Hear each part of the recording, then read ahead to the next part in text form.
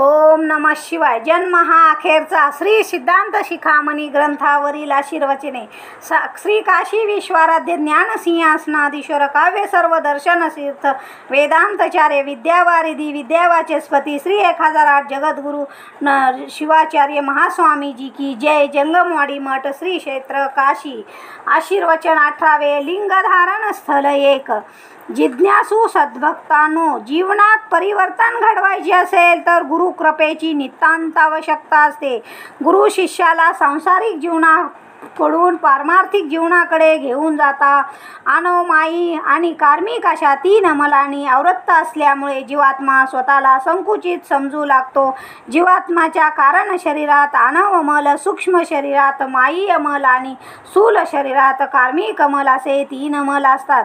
त्यांची शुद्धी झाल्याशिवाय अध्यात्मात प्रगती होत नाही. म्हणून गुरुमल निवृत्तीसाठी शिष्यावर दीक्षा संस्कार करतात. दीक्षा संस्कारामुळे जीवात्म्याच्या ठिकाणी असलेले त्रिमल नष्ट होऊन त्याला शिवज्ञान प्राप्त होते. कालच्या आशीर्वचनात गुरु शिष्यावर कशी करुणा करतात याचा आपण विचार केला. दीक्षेमुळे शिष्याला काय काय प्राप्त होते याच्या विचारात आपण लिंगधारण स्थलात करणार आहोत. गुरु शिष्याला काय देतात? संपत्ती देत नाहीत शेती देत नाहीत. अशा गोष्टी देण्याची वल्गना करणारे छाछू करणारे गुरु वेगळे आहेत. त्यांच्याकडे लोकांची रीग लागलेली असते. परंतु शिव ही देखील एक संपत्ती आहे.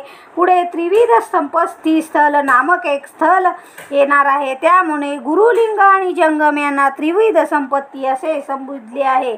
तुमच्या हृदयावरील इष्टलिंग तुमच्या मनातील प्रालि प्राणलिंग आणि तुमच्या कारण शरीरातील भावलिंग ही संपत्तीच होय.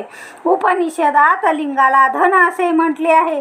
लिंगरूपी संपत्ती गुरुरूपी संपत्ती आणि जंगमरूपी संपत्ती जर आपल्याला प्राप्त झाली तर जगात आपल्या एवढा श्रीमंत दुसरा कोणी नसल. अलम प्रभूने एका वचनात म्हटले आहे की सोने चांदी ही संपत्ती तुझी नव्हे कारण ती अनंत काळ तुझ्याजवळ राहणार नाही. शेत जमीन ही देखील तुझी नव्हे कारण जिच्यावर माणूस हक्क सांगतो त्या भूमीतच त्याला चिरविश्रांती घ्यावी लागते.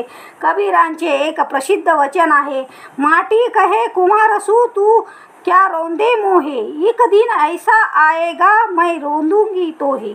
माती तु तुडवणाऱ्या कुंभाराला पाहून कबीरांना वाटले की माती कुंभाराला उद्देशून म्हणत आहे अरे तू काय मला तुडवतोस? एके दिवशी मीच तुला तुडवून नष्ट करीन. तुम्हाला वाटेल भूमी कधी बोलत असते काय? पण भूमीच काय सर्व चराचर आपल्याशी बोलत असतात. ते ऐकण्याची त्यांचे शब्द समजून घेण्याची कुवत आपल्या ठिकाणी नसते. म्हणून आलम प्रभू म्हणतात ध धनभूमी स्त्री ह्या गोष्टी तुझ्या नाहीत. तुझ्या आध्यात्मिक प्रवासातील हे गतिरोधक आहेत. तुझ्याजवळ राहणाऱ्या तुझ्या मालकीची एकच संपत्ती आहे ती म्हणजे ज्ञान. ज्ञान जशी सर्वश्रेष्ठ संपत्ती आहे तशीच गुरुलिंग जंगम ही श्रेष्ठ संपत्ती आहे असे श्री सिद्धांत शिकामणीत म्हटले आहे. देवाचे नामस्मरण करणे ही देखील एक संपत्तीच आहे. तुम्ही मात्र क कागदी नोटांना आणि धातूच्या नाण्यांना संपत्ती ती मानता ती मिळवण्यासाठी जीवाचा आटापिटा करता शेवटी ती तुम्हाला सोबत नेता येत नाही. एकदा प्रभू रामचंद्राने हनुमंताला विचारले हनुमंता तू बुद्धिमान आहेस जितेंद्री आहेस मला सांग की संपत्ती कशाला म्हणतात आणि विपत्ती कशाला म्हणतात? हनुमंताने उत्तर दिले प्रभू तुमचे स्मरण हीच संपत्ती आहे आणि तुमचे विस्मरण हीच विपत्ती आहे. हनुमंताने किती सुरेख उत्तर दिले आहे. देवाचे स्मरण ही संपत्ती आणि देवाचे विस्मरण ही विपत्ती. तुम्ही देवाचे स्मरण किती काळ करता आणि संसाराचे स्मरण किती काळ करता हे आठवून पहा. गुरुला शरण गेल्यावर गुरु आपल्या हाती लिंग ठेवतात. लिंग एक संपत्ती आहे. लिंग धारण स्थलात लिंगाचे महात्म्य खूप सांगितले आहे. लिंग या शब्दाचा अर्थ फार व्यापक आहे. वेदांत शास्त्रात ज्याला ब्रह्म म्हणतात त्या तत्वाला सिद्धांत शास्त्रात आगमात लिंग असे म्हणतात.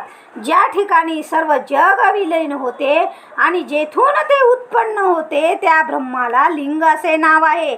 सर्व प्रपंचाला लिंगतत्वच आधारभूत आहेत. लिंगाची व्यापकता स्पष्ट करणारी एक कथा लिंग पुराणात आलेली आहे. लिंगाचे पूर्ण महात्म्य जाणणे आणि लिंगाचा आदिअंत शोधणे हे अत्यंत अवघड आहे. ब्रह्मा आणि विष्णू यांच्यात अहंभाव निर्माण होऊन त्यांची भांडणे विश्वने सुरू झाली. त्यावेळी एक ज्योतिर्लिंग त्यांच्यासमोर प्रकट झाले.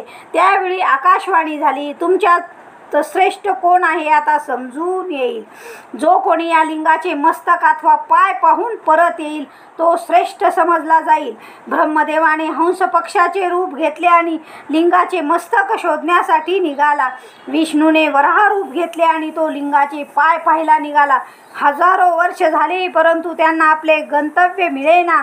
विष्णू निश कपट होता परंतु ब्रह्मदेव थोडा लबाड होता. त्याने कामधेनू आणि केतकीचे फुलं यांना खोटे साक्षीदार बनवले आणि परत फिरून सांगितले की मी लिंगाचे मस्तक पाहून आलो आहे. कामधेनू आणि केतकीचे फूल यांनी ब्रह्माची साक्ष दिली.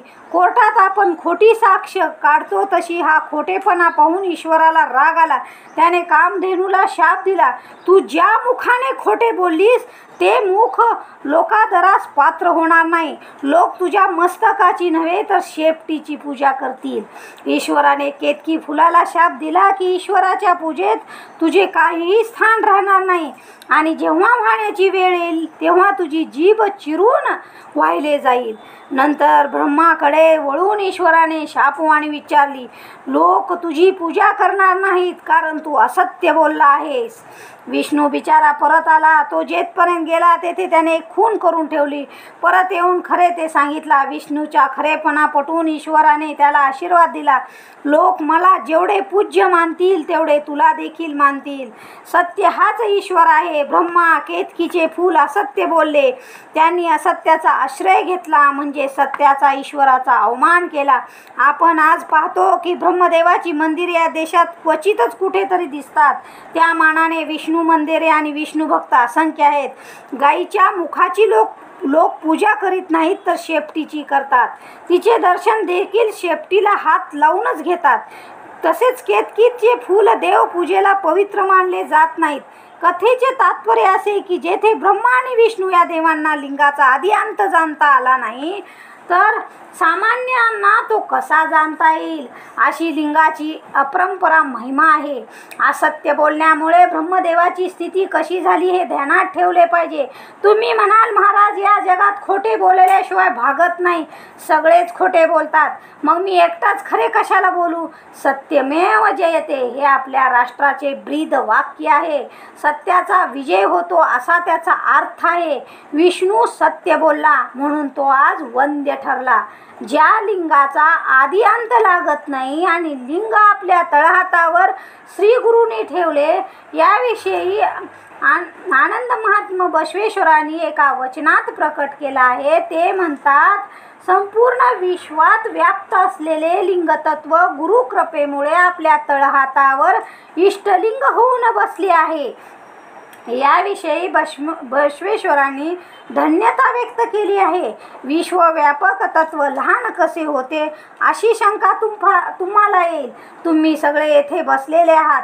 तुम्हाला बसायला कितीतरी मोठी जागा लागली आहे.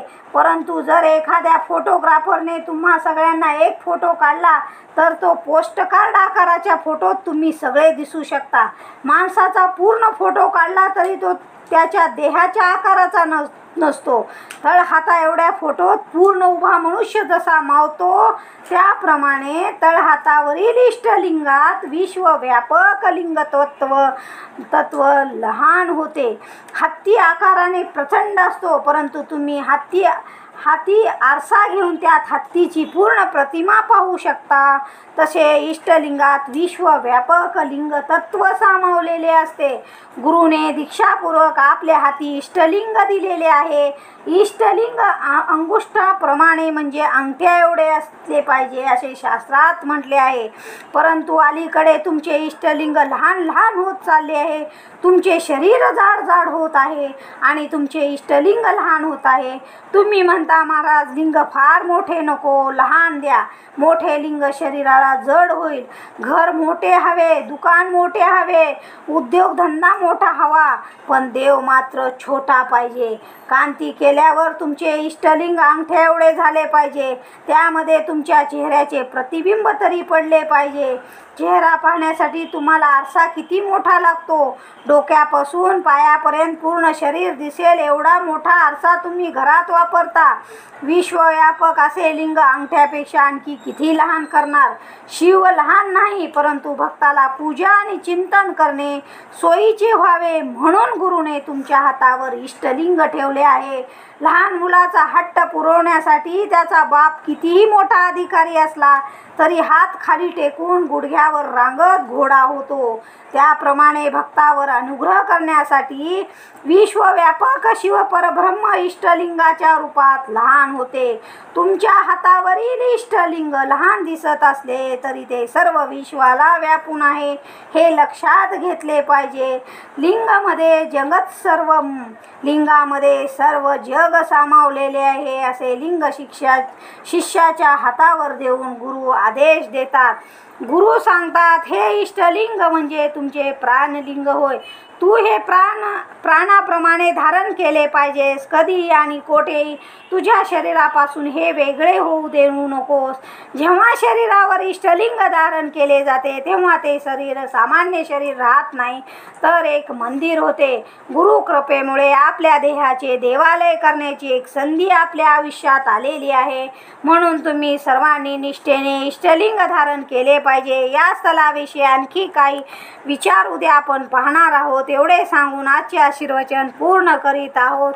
ओम शांती शांती शांती.